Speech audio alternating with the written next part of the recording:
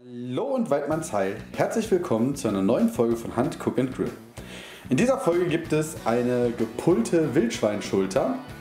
Das Ganze werden wir würzen mit dem Nordic Wild Gewürz von Ankerkraut. Hier haben wir unsere Wildschweinschulter von meinem letzten Stück Schwarzwild. Außerdem brauchen wir da eine Edelstahlform. Das wird hinterher nochmal wichtig für die Art der Zubereitung, wie wir es machen. Und wie das Ganze geht, das seht ihr in dieser Folge von Hand Cook and Grill. Also bleibt dran und viel Spaß dabei. Ja, die Vorbereitungen sind eigentlich total simpel. Wir nehmen hier unsere Wildschweinschulter, machen da überhaupt nichts mit, außer die einmal in unsere Edelstahlform zu legen. Jetzt nehmen wir unser Gewürz und streuen das Ganze wirklich großzügig auf das Fleisch.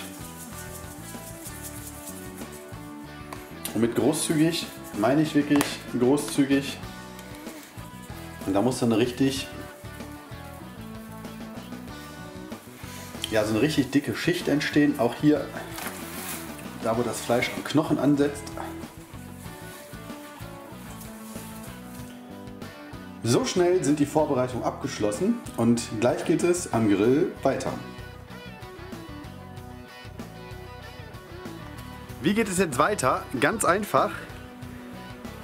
Wir nehmen jetzt einen halben Anzündkamin mit äh, Kohlebriketts. Halbe Anzündkamin mit Kohlebriketts ist drin. Jetzt habe ich hier Wood Chunks, Hickory, Raucharoma und da reicht es wirklich, wenn wir so zwei, drei Stück da drauflegen, sodass in den ersten Minuten das Fleisch richtig Rauch abbekommt. Jetzt kommt der Smoker-Aufsatz drauf. In die Smokerschale habe ich Wasser eingefüllt, kaltes Wasser. Normalerweise nimmt man heißes Wasser. Aber in dem Fall ist es so, ich will nicht so furchtbar heiß räuchern, maximal 80 bis 90 Grad, weil der eigentliche Garprozess hinterher auf dem Gasgrill stattfindet in der Aluschale. Und ähm, ja, es geht jetzt wirklich nur um kräftigen Rauchgeschmack, erstmal an die äußeren 2 cm des Fleisches zu bekommen. Ihr seht, es fängt auch schon ordentlich an zu rauchen. Deswegen hole ich jetzt äh, das Fleisch und das wird direkt aufgelegt. Ja, das Fleisch war jetzt äh, circa anderthalb Stunden im Rauch. Und jetzt ähm, nehmen wir das einfach runter und hier in unsere Edelstahlform. Und ähm, da kommt jetzt ein bisschen Flüssigkeit zu und Aluminiumfolie drüber. Und wie das weitergeht, erkläre ich jetzt gleich am Ingo ist übrigens bei mir. Wir gehen jetzt gleich auf den Ansitz und damit wir nach dem Ansitz was Leckeres zu essen haben, machen wir das Ganze jetzt. Dazu gibt es noch ein bisschen herbstliches Gemüse, so Kürbis und äh, Kartoffeln und Zwiebeln so geschmort. Ne? Wir müssen erst zum Ansitz, damit wir auch Hunger haben. Genau. Ja, das Fleisch hat Durst, deswegen kommt hier ein Schuss Rotwein rein, dass der Boden bedeckt ist. Man kann das nicht sehen, aber das Fleisch hängt so ein bisschen in der Luft. Das hat also keinen direkten Kontakt mit dem, mit dem, äh, mit dem Metall. Und äh, jetzt ist wichtig, dass hier oben so ein Bogen Backpapier drauf kommt. Das Backpapier sorgt dafür, dass wir nicht den direkten Kontakt mit dem Aluminium, mit der Aluminiumfolie haben. Und jetzt habe ich einfach zwei Bögen große Aluminiumfolie die ich hier drauf packe. Und jetzt den Rand richtig feste umkrempeln. Das ist eigentlich das ganze Prinzip.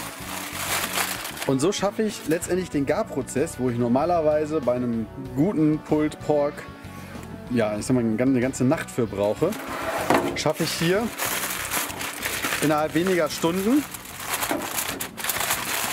Und bei dem Rezept ist das letztendlich auch egal, ob das jetzt gleich anderthalb Stunden da drauf ist oder zwei Stunden.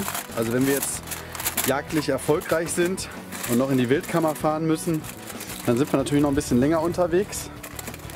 Das macht aber nichts, weil das bleibt einfach da drauf und wird eigentlich nur noch zarter und besser. Ähm, was bleibt noch zu sagen? Genau, also der Grill, der hat 150 Grad, der kann auch 180 Grad haben. Wir packen das jetzt hier auf den Gasgrill in die Mitte. Der rechte Brenner an, ist an, der linke Brenner ist an, den drehen wir jetzt so auf halbe Stufe. Dann bekommen wir so eine Temperatur von 160, 170 Grad im Grill. Und die Temperatur spielt überhaupt keine Rolle, weil drinnen haben wir Flüssigkeit, das Fleisch. Und deswegen haben wir immer 100 Grad in dem ganzen System. Und damit gart das Fleisch auch perfekt. Das Bindegewebe kann sich wunderbar auflösen und wir hoffen, dass das gleich richtig schön zart, saftig ist und man wirklich den Knochen komplett aus dem Fleisch rausziehen kann. Und jetzt geht es auf den Ansitz. Nach zweieinhalb Stunden war das Ergebnis perfekt. Ihr seht das gleich in den folgenden Bildern. Das Fleisch ließ sich super leicht vom Knochen ablösen. Und das ist Ziel dieser Zubereitungsmethode.